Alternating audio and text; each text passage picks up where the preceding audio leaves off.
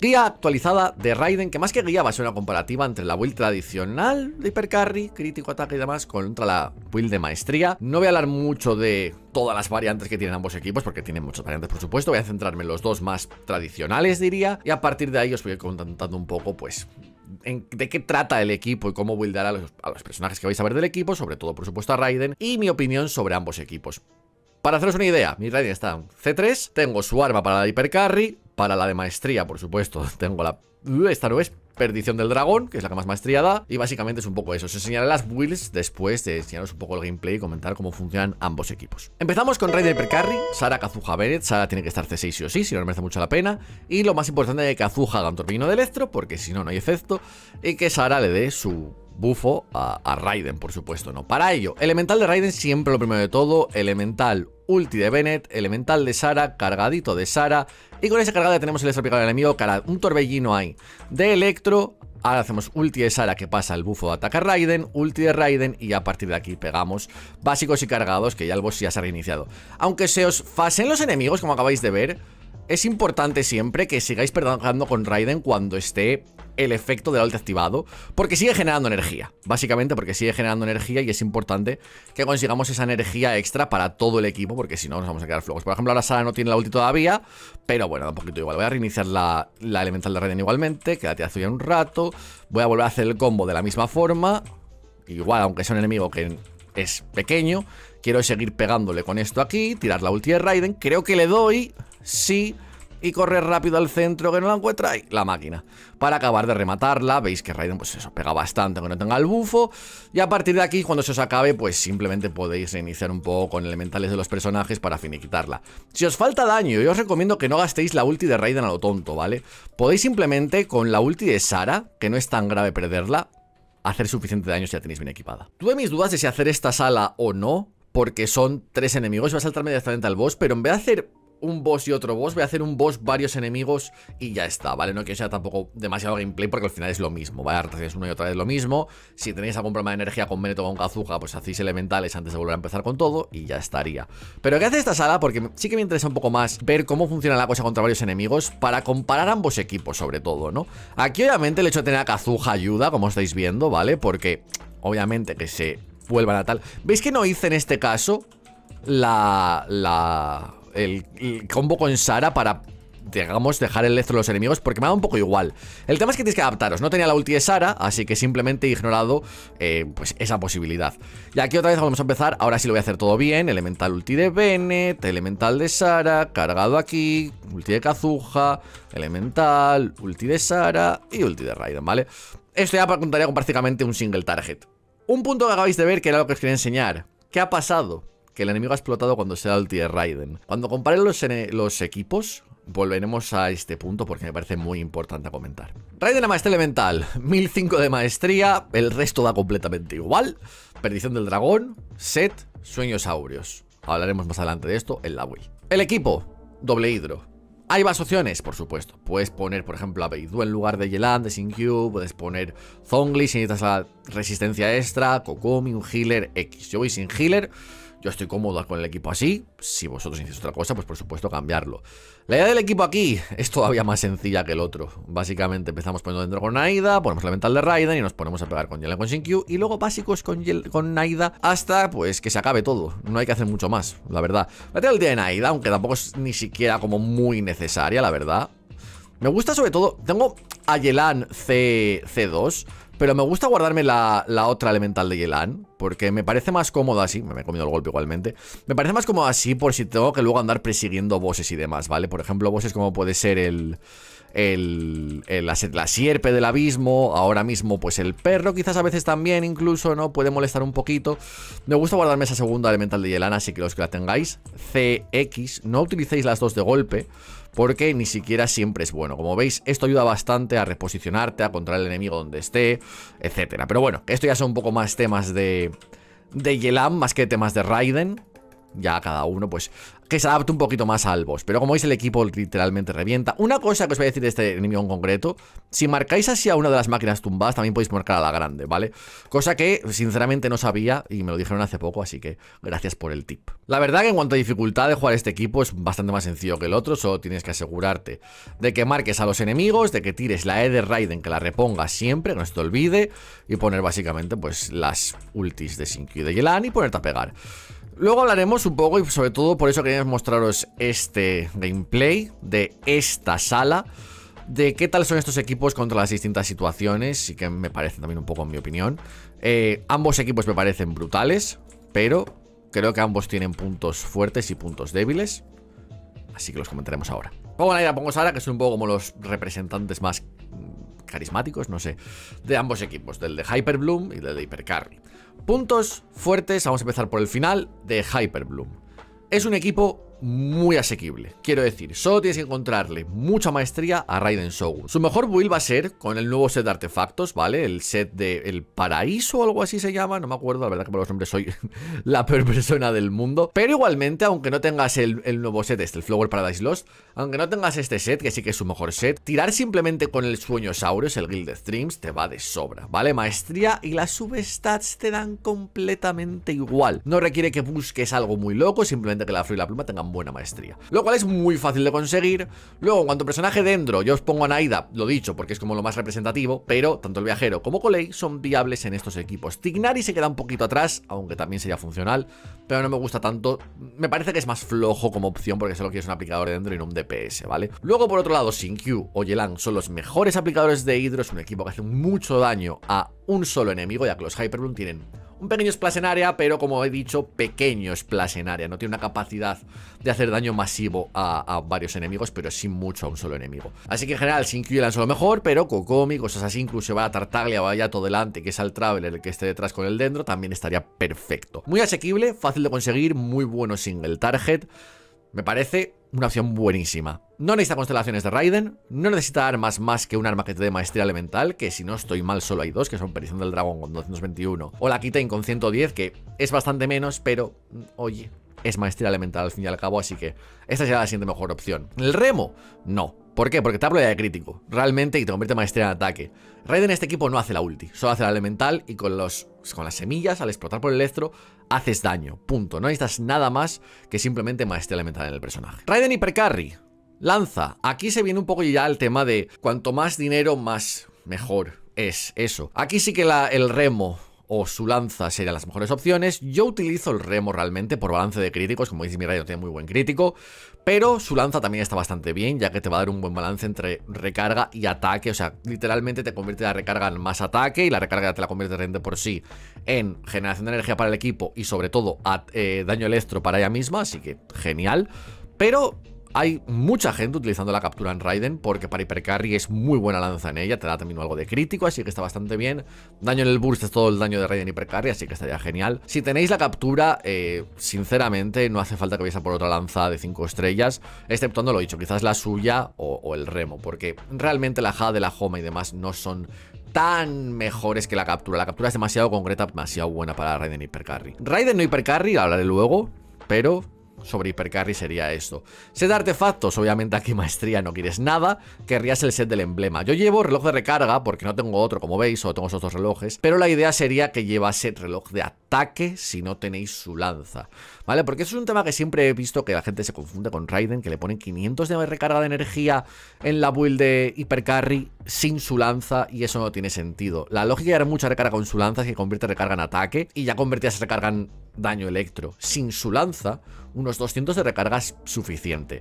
Siempre sueles poner un poco más, ¿vale? Y aquí viene el punto.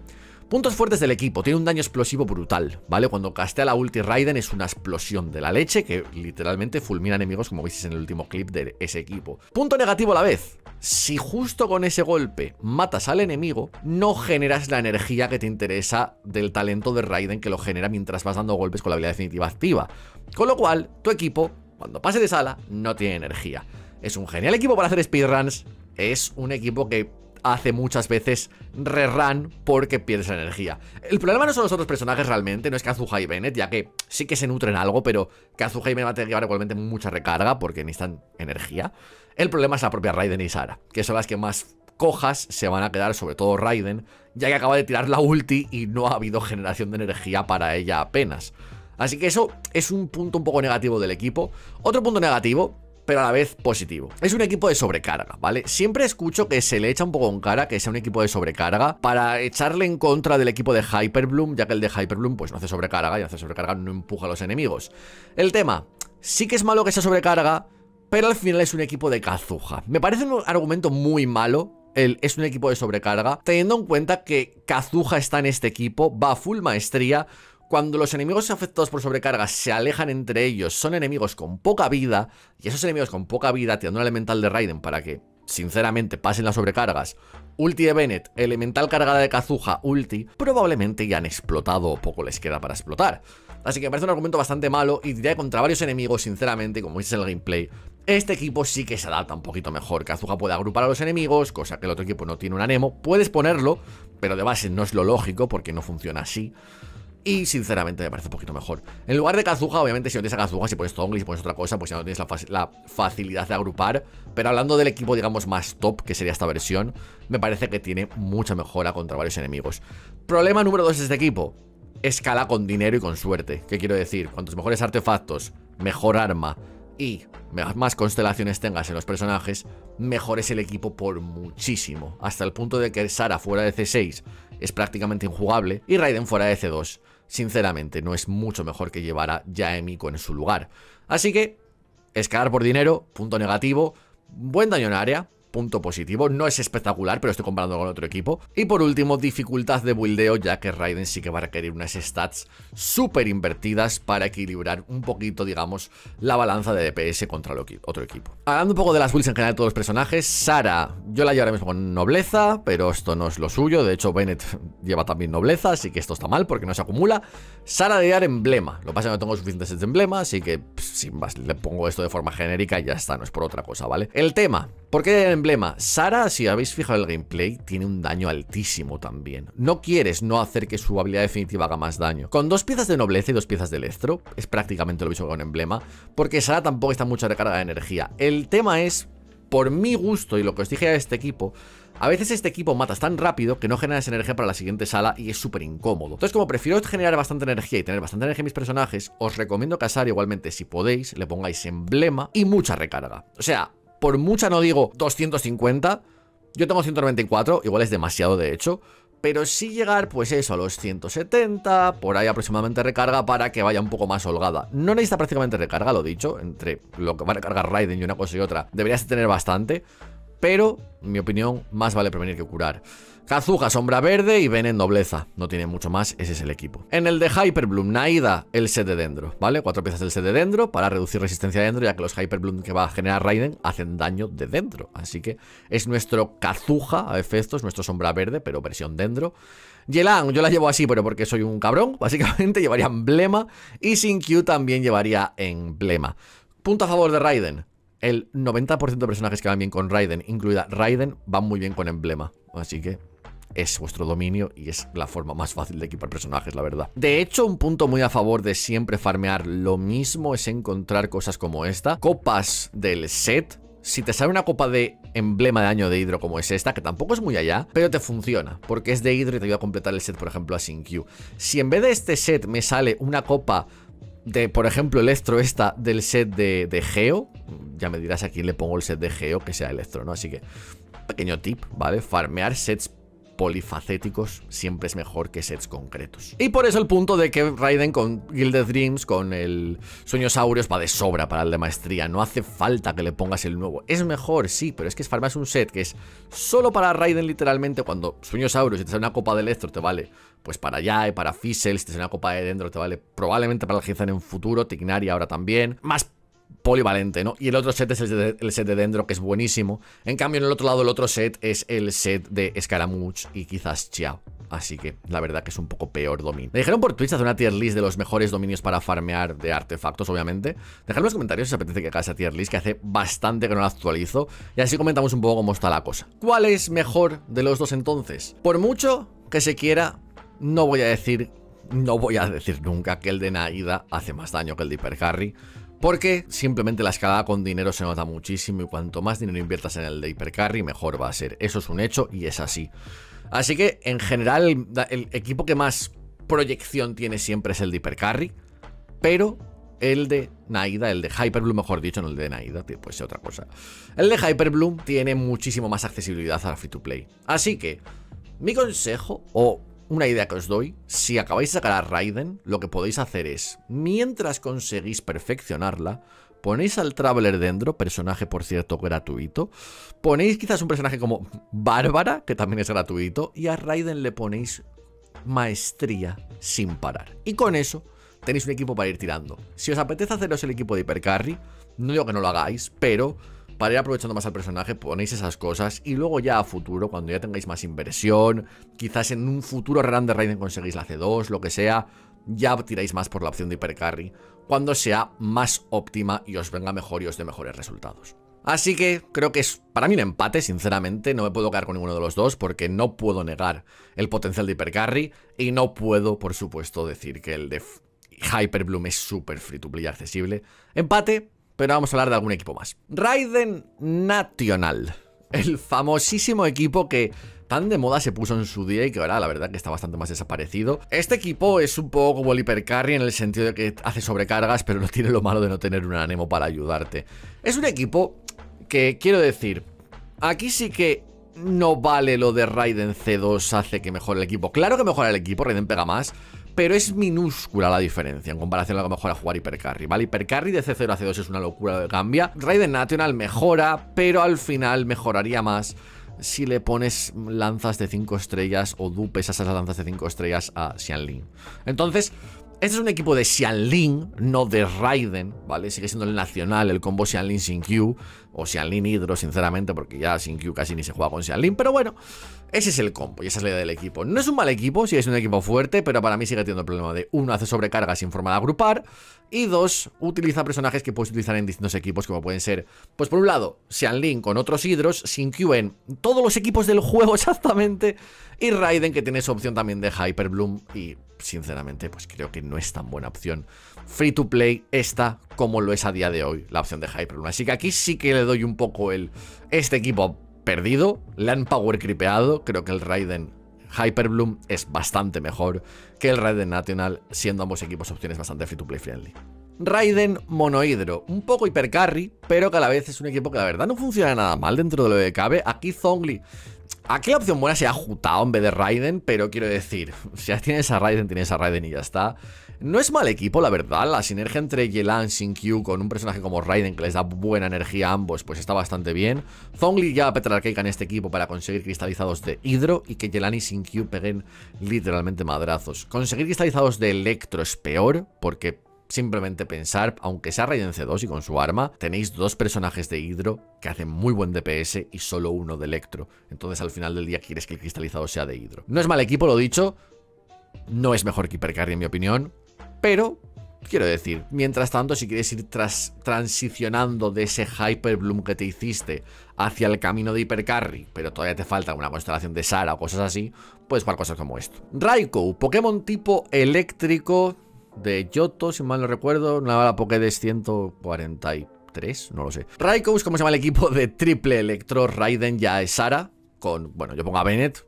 Creo que Kazuha es lo mejor, no estoy muy seguro. Pero bueno, la idea aquí es un poco pirulear con Sara, ¿vale? Elemental de Sara, paso allá, le doy el bufo, no sé qué, tiro la cargado de Sara, tiro el tío de Sara, cambio a Raiden, pi, pi, pi, pi, pi, pi, Es un poco, o sea, elemental cargado de Sara, cambias allá, pilla el bufo, tiras a ulti de Yae, vuelves a Sara, tiras a ulti de Sara, pasas a Raiden, te... Um, dar vueltas. Está bastante guay el equipo, es bastante divertido, sinceramente, de jugar. El problema es Monolestro y encima llevas a Bennett como mejor healer sobrecarga, ¿vale? Básicamente. Si vas a Kazuha no ibas healer, así que también F ahí.